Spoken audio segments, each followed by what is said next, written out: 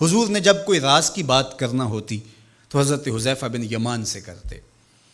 तो फरमाते हैं कि मैं चूँकि हुजूर के साथ नमाज़ नहीं पढ़ सका था, काफ़ी वक्त गुजर गया।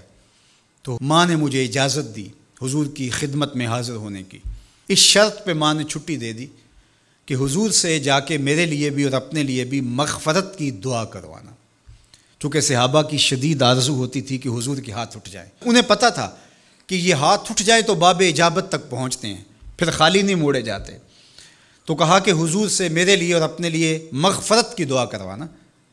माँ ने इजाज़त दे दी तो ये हुजूर की खिदमत में आए। कहते हैं, मैंने मगरब की नमाज़ पढ़ी और सलाम फिरा तो मेरे दिल में था कि हुजूर से मिलूं और कहूँ कि हुजूर मेरे लिए, मेरी माँ के लिए मगफ़रत की दुआ कर दीजिए।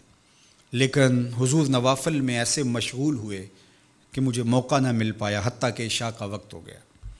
इशा की अजान पुकारी जाने लगी। हुजूर ने नमाज़ इशा पढ़ाई। सलाम फिरा तो मेरे दिल में था कि माँ ने जाते ही पूछना है कि दुआ करवाई थी तो क्या जवाब दूँगा? मगरब की नमाज़ की छुट्टी मिली, इशा भी हो गई और मैं अर्ज़ नहीं कर सका। तो मैं अभी सोच ही रहा था कि हुजूर हुजरा अनवर की तरफ़ बढ़ गए।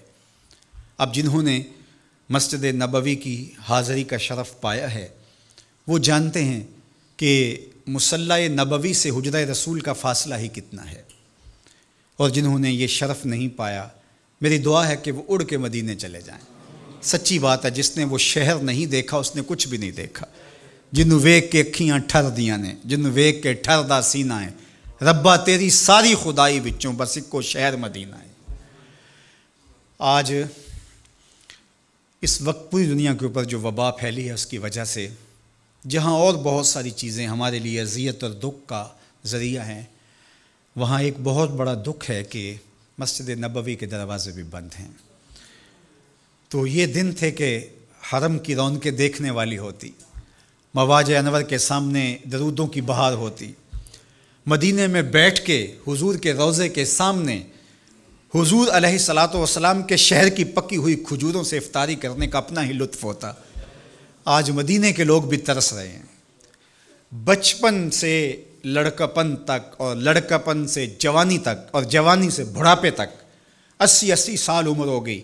जिन्होंने मुबारक का रोज़ा मस्जिद नबी से बाहर कभी खोला ही नहीं। आज अपने घरों की छतों पे खड़े होके मीनारों को देखते और चीखे मार रहे हैं। अल्लाह इस वबा के दिन मुख्तसर कर दे और इस उम्मत के लिए आसानियाँ पैदा कर दे। तो हुजूर अलैहिस्सलाम उठे मुसल्ला अनवर से और अपने हजरा अनवर की तरफ़ चल पड़े। तो हज़रत हुजैफ़ा बिन यमान कहते हैं कि मैं भी हुजूर के पीछे चल पड़ा। गैर इरादी तौर पे कुछ रफ्तार तेज़ हो गई तो कदमों से आहट पैदा हुई।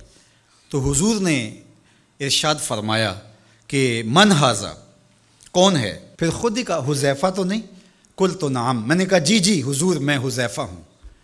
तो आका करीम इस्लाम ने कोई तवक़ुफ़ किए बगैर फरमाया, माँ हाजतों का गफ़र अल्लाह का वाले उम्मे का, अल्लाह तुझे भी बख्श दे, तेरी माँ को भी बख्श दे, किस काम आए हो? अब हुजैफ़ा बिन यमान कहते हैं, जो काम था, वो तो जुम्बश लब से पहले हो गया।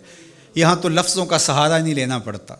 वो बंद लबों की बोलियाँ समझते हैं। तो कहते हैं कि जो हाजत थी, वो तो पूरी हो गई। यही तो कहना था कि हुजूर, मेरे लिए और मेरी माँ के लिए मगफ़रत की दुआ कीजिए। फिर हुजूर ने इरशाद फरमाया, काला इन हाजा मलकुन लम यंजल अर्द कत्तो कबला हाज हिल लैला।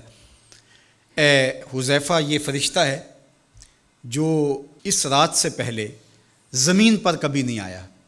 ये पहली मरतबा आया है। इस्ताज़न रब्बा अयुसलम आलिया इसने रब से इजाज़त मांगी थी। मालिक तेरे महबूब को सलाम न कर रहा हूँ मुझे सलाम करने आया है, लेकिन साथ साथ मालिक ने कहा कि जा रहे हो मेरे महबूब के पास सलामी पेश करने के लिए तो एक तोहफ़ा भी लेते जाओ। तो वो भी मुझे देने आया है। तो वो तोहफ़ा क्या है, सुनो। बेअन्ना फ़ातिमाता सैदा तो निसाए अहल जन्ना। मुझे खुशखबरी देने आया है कि आपकी बेटी फ़ातिमा जन्नती औरतों की सरदार है।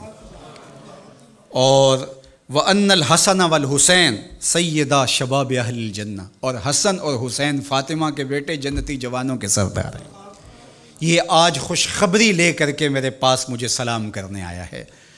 तो ये मलिका जन्नत हैं, ख़ातून जन्नत हैं सैदा नसाए अहल जन्नत हैं। कहते हैं कि जब हुजूर अलैहिस्सलाम को सैयदा फ़ातिमा तो ज़हरा रदी अल्लाह तहा कोई बात करती थी तो हुजूर इनकी बात को नहीं टालते थे। इनकी बात मान लेते थे। तो आज हम सैदा फ़ातिमा तो ज़हरा रदी अल्लाह तहा की वसात से हुजूर की बारगाह में इस्तेगासा पेश करते हैं कि इस उम्मत मरहूम पे अल्लाह से रहम की खैरात मांगें और अल्लाह मेरे वतन की खैर करे, अमन, रहमत और करम नवाजियों के उजाले और नूर नसीब हो। मेरी कौम की बेटियों को उसवाए फ़ातिमा के उजाले अता हों।